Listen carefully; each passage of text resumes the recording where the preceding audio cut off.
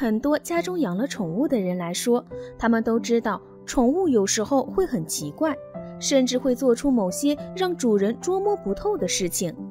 而在这包容万物的大自然中，一些动物界的成员，他们所表现的一些行为，可要比宠物们奇特多了。可是他们的这些奇怪行为都是有原因的。在弱肉强食的大自然中，为了能够生存下去，有许多动物会采取一些防御措施。有一些动物的防御措施会让人感到非常意外。有这样一群鸟儿，本应该在天空中自由翱翔，但是它们却成群结队地围着一架飞机不停地打转，甚至用尽全身的力量冲撞飞机。飞机中的乘客一度陷入混乱之中，驾驶员只能为了乘客的安全紧急迫降。鸟群为什么会有这样奇怪的行为？飞机最后怎么样了？在航空界有一个大家所熟知的术语叫“鸟击”，是指飞行器在起飞、爬升、巡航、降落过程中被鸟类撞击而发生的影响飞行安全的事件、事故或事故侦后。其中，航空器发动机的鸟击事件又称为吸鸟。随着航空器数量的不断增加，体积越来越大，飞行速度越来越快，发生鸟击的可能性也随之增加。据统计，全世界每年大约会发生一万次以上的鸟击事件。国际航空联合会把鸟害升级为 A 类航空灾难。驾驶员杰森虽然有着丰富的驾驶经验。但是这一次的鸟击事件却让他留下了深刻的印象。那天，杰森驾驶着飞机将乘客送往目的地，这时他突然听到一声巨响，打破了客舱内的平静。紧接着，在剧烈的晃动下，他的头就朝着飞机的窗户撞过去。到底发生了什么？冷静下来的杰森发现，窗户外有一群鸟在猛烈地撞击着飞机。杰森试图操控飞机脱离鸟群，因为他知道一旦让鸟群撞到飞机的引擎上，整架飞机都有可能坠机，后果将不堪设想。但是这些鸟紧追着飞机，反而变得更加有攻击性。杰森怎么摆脱也摆脱不了。客舱内的乘客也感受到了这猛烈的撞击，所有的人都开始焦虑起来。对于拥有丰富驾驶经验的杰森来说，摆脱鸟群不是问题，但是这群鸟就算损害自己的身体，也依旧锲而不舍地撞击着飞机。杰森这才意识到事情的严重性。他不知道鸟群为什么会做出如此奇怪的举动，也不知道怎样才能让这群鸟平静下来。杰森不得不呼叫指挥部，看看他们有什么办法。这时，鸟的数量一直在不断增加。它们变得咄咄逼人，一点也没有消停的意思。整个机身都被鸟群围住了，黑压压的一片，乘客们几乎都无法从窗户外看见什么，这让所有人都充满了恐惧。杰森不敢再耽搁片刻，必须采取行动。他用尽了全身的力量控制飞机往高处飞，但是他又不得不顾及到舱内的乘客。如果飞机角度太陡，将会危及到所有乘客的安全。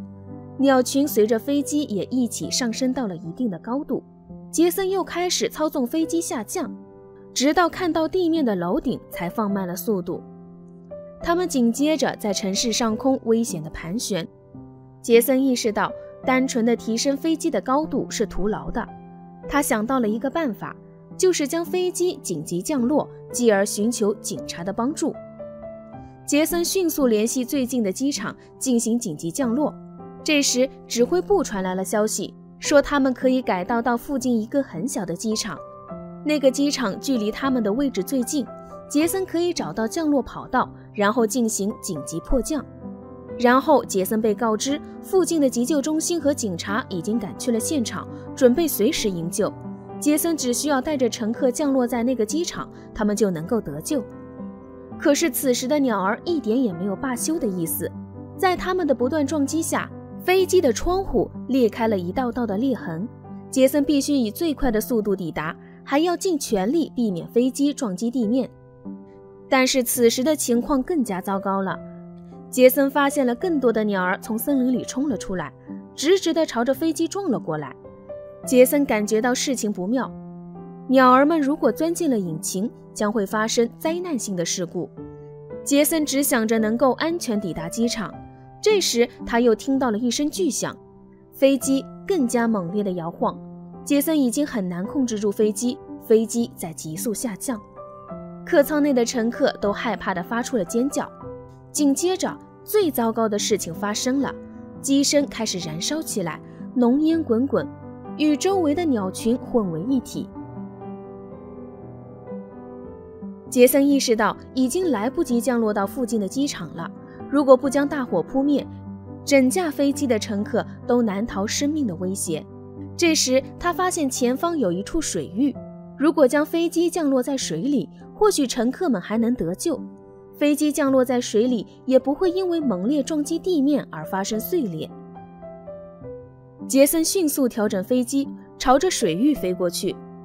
不出意外，降落在水域后，飞机上的大火就扑灭了。接下来就是要从飞机里逃出来。杰森试图从驾驶舱找到出口，他推开其中一个出口，但是被卡住了。他让自己冷静下来。幸运的是，一名空姐找到了其他出口。飞机在水里正慢慢的下沉。乘客们变得更加恐慌，都想着要第一个从客舱里逃出去。本来，如果他们听从空姐的指挥，将会有充足的时间全部逃生。但是他们无视秩序，拼命往外挤。第一个从客舱里逃出的乘客就后悔了，因为当乘客一逃出客舱，就会受到鸟群的猛烈攻击。乘客们为了避免被鸟群攻击，都纷纷潜入水中。尽管此时的境遇如此混乱。所幸，所有的乘客全部都逃出了机舱，无人伤亡。附近的警卫队和医疗救援队都赶到了现场，有序地指挥着现场的一切。当杰森以为事情会就此告一段落的时候，在他转头的时候，他发现鸟群并没有散去，一直在飞机的上空盘旋，好像是寻找什么。杰森感到非常困惑。更加奇怪的是，警卫队突然从乘客里带走了一位男子，并且搜寻着他的行李。警卫队从一堆行李箱里拿出了一个，当他们打开一看，脸色瞬间就变白了。里边全部都是那名男子走私的珍奇鸟类。他们打电话给执法部门，并将那个人带走了。珍奇鸟类会在接下来案子结束后放回大自然。男子被带走后，天空中盘旋的鸟群也逐渐散去了。后来，杰森参加那名男子的庭审会，才明白鸟群撞击飞机的真相。原来，他们是因为听到了珍奇鸟类的呼救，前来搭救同伴的。